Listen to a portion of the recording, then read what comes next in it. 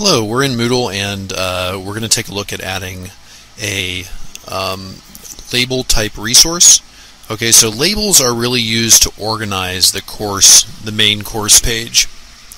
So what we have here is we have, uh, you know, the main course page, we have authoring resources, we have sample resources, those are labels.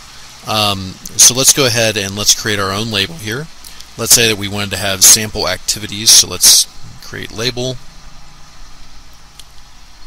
Okay, basically for a label, all we do is we're just going to put in some label text and then save it. So we're going to say, let's say sample activities.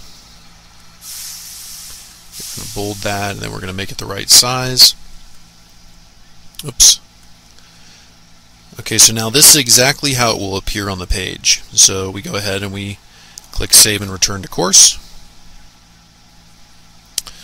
Okay, so let's go take a look. We're going to go. We're going to we're going to turn editing off so we can see how it will appear to the students. So we turn editing off, and now we have our sample activities.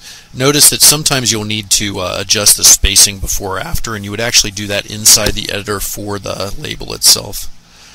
Uh, good luck. I hope it helps.